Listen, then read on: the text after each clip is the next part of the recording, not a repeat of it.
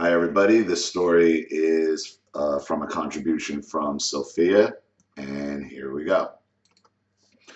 Hi, Ollie. I made a donation to your channel through PayPal.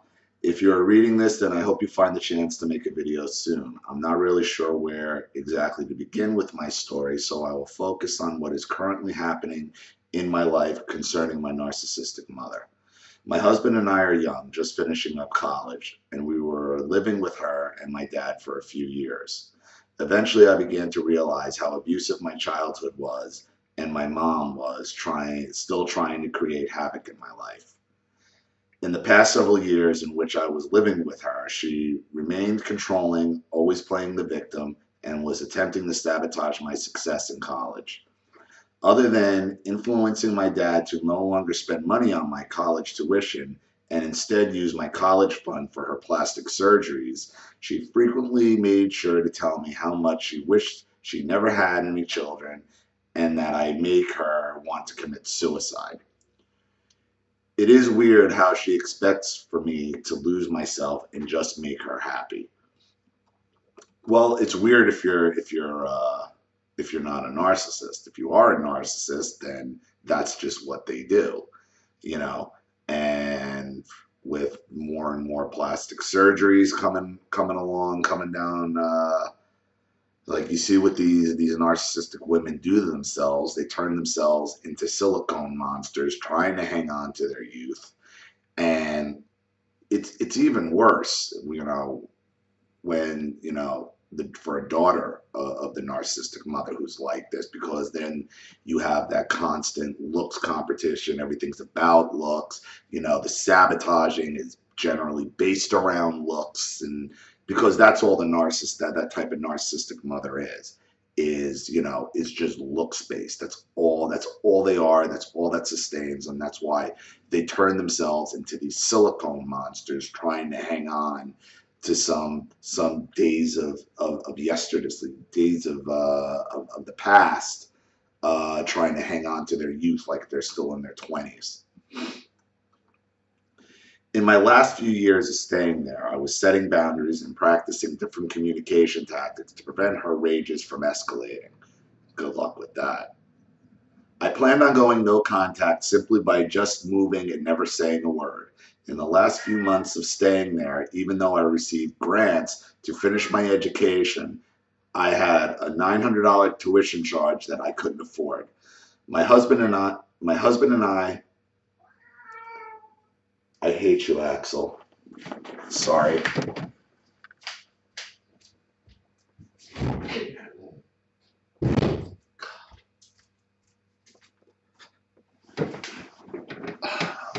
Sorry about that. You can't pause a video and he was going to keep doing that. So in the in the last few months of staying there, even though I received grants to finish up my education, I had a $900 tuition charge that I couldn't afford. My husband and I already had a move-in date set for an apartment and we had bought our own furniture. I was wary of asking my dad since I knew my mom would throw a fit, but I wasn't sure about taking out unnecessary loans. I ended up showing my dad the tuition bill and he helped me out. After this, I'm pretty sure she poisoned my casserole that I had been saving in the refrigerator. I got extremely and painfully ill when I shouldn't have been ill from the leftovers that never made, made me sick when it was fresh earlier in the day and not tampered with. Ah, uh, yes, the narc who likes to, to poison your food, make you sick. Uh, it's another revenge tactic. It is just, you know, and I've read many stories where, and it's always it's always the female narcissist that does this that likes to poison or make you sick through food. I feel like my suspicions were confirmed the next day when I attempted to throw all the food away and my mom kept prying and wondering how exactly it made me sick. This was really a whole separate thing and it may sound crazy, but even as a child, I feared being poisoned by her. Unfortunately, even today, my health isn't that great. I have extensive neurological damage and pain from the widespread inflammation in my body without any known cause at the moment well, like, I guess like fibromyalgia. It wasn't until recently that I began to suspect my past with my mom and potential reasons for why my nerves and muscles become so become damaged so easily. Right. It could be, you know, fear, the anxiety causing a psychosomatic response. Um, because your body is going to respond to that fear and that anxiety somehow. Sometimes it manifests in pain, sometimes it just manifests in straight anxiety. You know, it's different, it manifests different ways for different people. In September 2015, it was finally time to move. We never told her our plans out of fear, fear of being sabotaged. Very smart. She knew we were moving because she had sneaked into our rooms and stared at our packed boxes occasionally it was pretty obvious that we were moving because of the packed boxes, but we never said anything and she didn't know what day. The morning we moved, she had left for several hours and we had three people come and help us load the truck. Right when we had finished loading and we were ready to leave, she showed up and surprisingly showed her crazy in front of other people. Oh, I bet she did. Because you had outsmarted her. And you got she got there at the tail end, too late to do anything at that point, and she couldn't control her own narcissistic rage. Obviously, she claimed she never knew we were moving, and then she accused me of scamming her for money in reference to the tuition help that I needed. I should, and you should have said, yeah, well, that was the point. Yeah, you didn't know. That was the point because you would have done some type of bullshit like this, poison me, God knows what. You know? Yeah, yeah, you never knew because I didn't tell you, you crazy bitch. I should have known asking for help would have blown up at my face later. She accused me of lying and using the money for other things when this isn't the case and my dad knows that isn't because he saw my tuition bill right from the student account. And it's pointless to stand there and fight baseless accusations to a narcissistic psychopath because they remember they want the fight, they want the argument. Anything you say, they're going to turn around and they're going to twist it against you and twist it up anyway. The best thing to do, jump in the truck and leave. You're not going to get anywhere by arguing with her because she's never going to admit. Is your mother ever going to say, "Oh yeah, you know what? You're right. I'm wrong. I was making. I'm doing this. I would put." She's never going to admit it anyway, and she's only going to use that and use your act, use the truth to twist. She's going to twist the truth to make you sound like you're paranoid and crazy. Anyway, we left, and she still thinks that we aren't talking over a minor spat. And then the narcissist will do that. They will minimize in their own heads and to everything else. Oh, he just flew off the handle or she just flew off the handle over a little a little spat, you know, families fight. Bullshit. This is a pattern of behavior that has been going on in our lives and especially your life since you were born. But the but the narcissist always minimizes it like this is a minor normal family thing and that you're oversensitive or that you're crazy. That's that's just another tactic. I know that deep down she knows the real reason why I do not have contact with her. Of course she does. Of course she does. That's why she's calling it a minor spat. Of course she does. I have been no contact for eight months now. All the texts go to a spam folder. But at first I looked at some. They were all the same crazy stuff she always says, threatening to commit suicide, guilt tripping me, playing the victim, I owe her because she birthed me, look how much she has done for me, etc. Okay, if she's putting suicide threats in text messages, you should call the police and have her Baker acted. And what a Baker Act is, is you call and you say, listen, my mom's threatening to kill herself because I moved out. You don't even have to give her, give the police you know, the whole ins and out. My mom's suicidal because I'm not talking to her. I, but I'm not going to have her death on my hands. Here's the text message of her threatening suicide, and then police will go over and do and do a welfare check, and you know they'll probably refer it to a social worker immediately. But if somebody's threatening suicide, they're going to Baker Act them which is a 72, 72 hour psychiatric hold, okay, for observation. Once you write I'm suicidal or I'm going to commit suicide, they're going to take you. All right, you have you have a couple cards here if she ever does that again. Okay, because at this point, too much time might have probably passed. But if she does that again, if she's putting these threats in text messages of suicide or threats against you, first of all, I hope you're saving all your text messages from her anyway, which I'm pretty sure you are. But those text messages where she's threatening suicide, call the police next time. Next time you get one, call the police and say, My mother's threatening suicide. You should go over there and, and check on her and let them deal with it. And now to let her know that your fucking threats aren't going to work. Okay, I do have an outlet, and you can't just go making death, uh, suicide threats. Okay, for your own purposes. Teach her a lesson for once. Over the past several months, I have been much happier than I have ever been in my life. Unfortunately, she has showed up to my husband's work two or three times. She has no idea where I live, even though we are still in the same city. Showing up to your husband's, to, to somebody's job, to somebody's job, and that takes a set of balls. But they do it. They try to get you fired because it's all about getting you under their control, whether it be emotional, financial, what have you, and making scenes at people's workplaces is a good way to do that. Because whether or not you've done something wrong at your job, your job could still fire you for the drama. Because what job wants to deal with all this freaking drama? They in some some states, especially right to work states, you know, or in any state, you could be fired like even at Macy's, we had women that we had to let go, and I, I and I didn't agree with it, who had domestic violence order of protection against their boyfriends or ex-husbands or whatever. Okay, and based on the severity of some of those protection orders, we had to let the, the, the girl go because it put the safety of everybody who was working there in jeopardy. So that's why when these narcs blow up and do crazy shit, that you can that, that sometimes you will lose your job.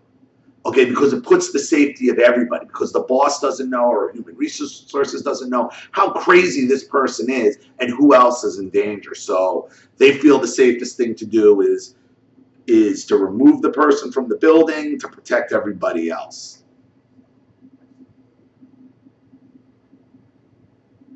She has no idea where I live, even though we are in the same city. Sometimes I wonder if I should explain to her the generational abuse patterns that I have noticed and point out how she abused, how she was abused so she can acknowledge the cycle, hopefully realize her wrongs and seek therapy for her personality disorder. If your mother is to the point where she's poisoning you, poisoning your food, she's gone. That's, that, that, that ship sailed a long time ago. That ship sailed and sunk, sunk to the bottom of the North Atlantic years ago. It's at the icy, the icy bottoms of the Atlantic. You are not changing somebody who's at the level of poisoning you, okay? Not paying for your, not helping out with your college, paying, taking your money to pay for plastic surgery for herself. When are you going to explain, when are you going to have this sit down conversation? in between poisonings and plastic surgeries, the woman's done. The ship is sailed. You're only going to waste your breath and, and possibly give her more ammunition to attack you with. Even if she seems like she's listening to you at first, she's not. She's not. She's compiling information to better figure out how to use it against you in the future. It's just a slight tactic change even if she does take that route. But I'm telling you, this woman, her ship has sailed a long time ago. But I'm not so sure I even want her in my life because I do not believe she can ever change. A 53 year old narcissistic woman who has been set in her ways her entire life and believes that she is perfect, yeah, I just don't see how she could ever change. Thank you, she can't. She really has created this false reality in which she is the victim and I am the one being mean to her. Yeah, they all do that. They all, they're always the victim. They're always the victim, and you're the and you're the cause for all their problems. You're not going to explain to her saying, well, oh, well, you're a victim too, mom, because, you know, years ago you were abused, but you're still making the active decision to poison my food, okay? To poison my food. You're not getting through to that, ever. She should be in jail for something like that. After going no contact, she started a smear campaign against me in which she found my in-laws and friends on Facebook. She told my father-in-law things like I only show him my good side and I'm really a terrible person. She also said that I will only come to them when I need money. It reminded me of what she used to say throughout my entire childhood. Even in elementary school at parent-teacher conferences, the teachers always had good things to say, only good things to say about me. She would tell them that it was all an act, and at home I was some evil child. So even at school, she's telling your teachers that you're this piece of shit. And that's what Drunky the Fuck Clown did to me. But again, this woman targeted you from childhood. She targeted you as being a bad person as a child, much like my parents did to me. And when you're actually put that tag of being this deceptive, lying child. And and your mother tells and your parents tell everybody this. You, you and someone begin to believe it. And I talked about this before. And then you think you're bad and you think you're evil and you're the only one that can't see it. Because at the time you don't even understand what narcissism is. You think this person's my mother, they must, they're smarter than me, they must see something I don't. This is terrible and this is pretty much almost exactly what I went through. And she wasn't joking. She seems to be jealous of me, especially with the ways in which she tried to get me to quit college over the years. She never did anything with her life, was a stay-at-home mom who never cleaned or cooked, just stared mindlessly at the TV or computer all day, or compulsively buys more crap she doesn't need that can't even fit in her home anyway. Ah, another hoarder. Another hoarder, everybody. Another hoarder who doesn't cook, doesn't clean, sits on her fat ass, watching TV, buying shit. Hoarding again. At the start of this semester in January, right when college started after break, she just she decided to send my mother-in-law a Facebook message and she also popped into my husband's work again, asking him when he can see me, as if it's up to him anyway. I told him I told him he needs to tell her never. The your husband needs to cut her off as well. Your husband needs to just be like, get out. Get out. This is my wife. I stand by my wife. She wants nothing to do with you. I want nothing to do with you. All right? And your husband should, I'm not telling you how to run your marriage, but your husband should say, like, and I believe you poisoned her. Now get out. Now get out. The Facebook message was meant to make me mad and stressed right when college was starting. Right, more sabotage. They're very vindictive and they're very calculating. I then realized what she was doing and how it was so weird she doesn't try to make contact for months and then suddenly tried when I am starting my, my last important semester. I made a rule. I told my sister-in-law and friend to to not tell me my mom's messages and told my husband not to tell me if she stops by his work because I knew what she was trying to do. Tell your husband to tell her, don't come by my work. As far as what you said to your sister-in-law, very smart as well. And I would tell your freaking in-laws, like, look, I would sit down with your in-laws if you haven't already, and I would lay this all out for them.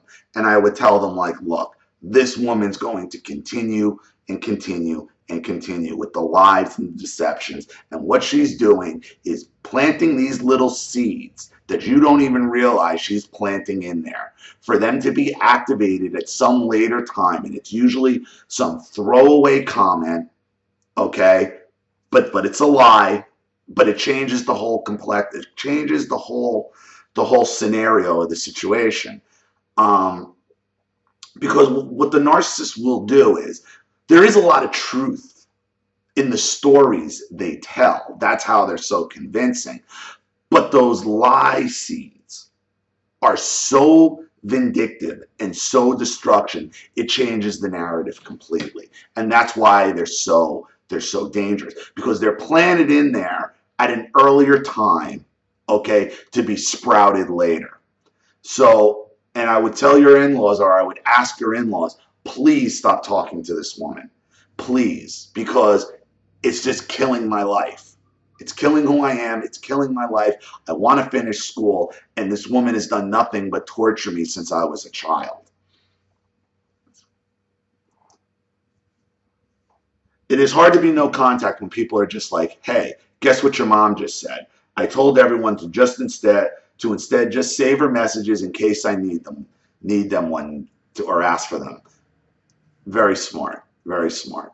Just say like, hold the messages, don't tell me about them. If there's a death threat in there or something, then let me know. If there's some kind of real threat in there where, you know, where they're going to try to come after money or safety or something like that, tell me.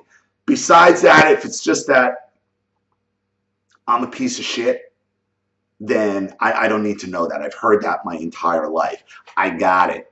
I got it. She thinks I'm a piece of shit. I'm a liar. I'm a horrible person. Got it. Got it. We're good. Check off the box. Don't need to hear it anymore. You got something else for me? Fine. This year, I also received a message from one of my older brothers. My oldest brother is the golden child, and then my second oldest, the middle child, was the scapegoat along with me. I was usually the one to hide away as a child, but he was always the one who got the worst of the scapegoating and was labeled as the family problem. He's the family problem, but she's been telling your teacher you're a piece of shit too. So it sounds like she don't like any of don't like any of her kids. He contacted me, although we never have been close. He's kind of a sociopath, and although we see eye to eye on certain things, I can't be his friend because he's just because he can be just as manipulative. Probably because he probably picked up all of her tactics. He rarely talks or he rarely talks to or sees our parents, yet yet he had heard from them that I no longer speak to them. Well, they'll reach out to anybody when the shit hits the fan. You know, they'll go to anybody who will still somewhat talk to them and try to try to recruit them. He approached me by texting that he hates our parents and he thinks they have been abusive. To some extent, it, it has been good knowing that they are on the same page and he is not acting as my mom's spy like our oldest golden brother is. Still be careful with him. He might be on your side, but he might, he could still turn on you on a dime because that's what happened with me and my brother. But in March or April, I happened to mention something about about my mom to my sister-in-law, so she asked if it was okay to tell me something that my mom had said. She told me the gist of it was that my mom had wrote my mother-in-law that they are seriously considering taking me out of their will and they made it sound like they were hoping this message would get back to me in order to scare me and change my mind. Sweetie, you're not getting any of that money in that will. Nobody is. And I've made video after video about those wills. They always go to the will. That's, that's one of their last tactics. Oh, I'm going to cut you out of the will. If you need their money, in the will, if you really want that will money, then why are you in college? Then why are you sacrificing so much now to get your education with your husband and going through all this shit to break for a goddamn will? You're not getting that, that will money anyway, regardless. I know people stick around their abusive parents because they can get money, but I decided it wasn't worth it. Good for you.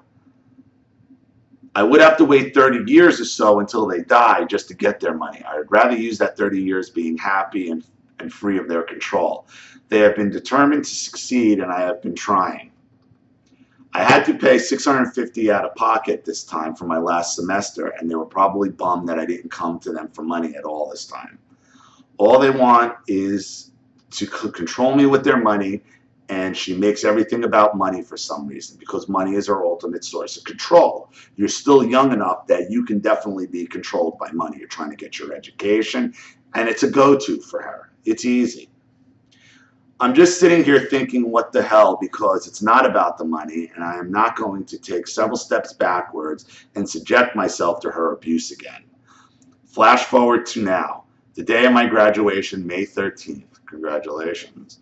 I have worked so hard to get my bachelor's degree, and I do not think I would have made it here had I not gone no contact just eight months ago.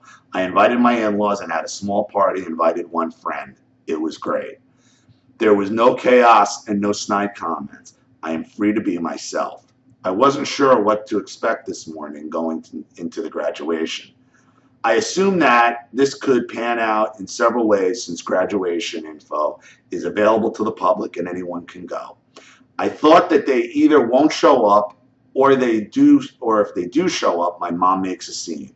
Or they show up, take pictures of me from a distance, then post them on social media saying, oh, look, we raised our daughter, we're great parents. No one saw my parents at the graduation, but my mother-in-law received a message from her saying to let me know that they are that they were there. And I was just like, okay, do they expect for me to think they're act they actually care? Because I feel like they don't. I get home after a long day and then I checked my bank account and then I checked my bank accounts. A while ago, I was still in contact with them. My dad had the routing number to my bank account and my brother's account so he could send birthday and holiday money to us. To their Today there had been a $200 transfer into my account and I knew it was them.